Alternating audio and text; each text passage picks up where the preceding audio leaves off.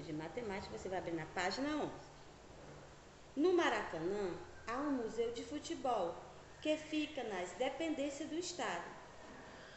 Do estádio, observe alguns objetos que podemos encontrar lá.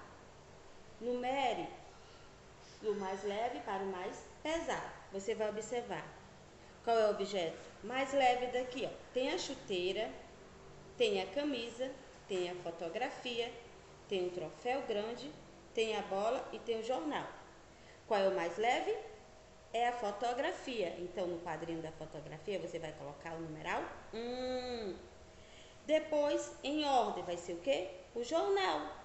Também ele, é, ele é leve, vai colocar o numeral 2. Depois você vai observar qual é o outro, a outra figura mais leve. É isso mesmo, a camiseta. Você vai colocar o numeral 3. Aí depois você vai observar novamente. Ai, tia, a bola é mais leve que o troféu. Então eu vou colocar o numeral 4. E por último, que o troféu é o mais pesado, vai colocar o numeral 6. Isso mesmo.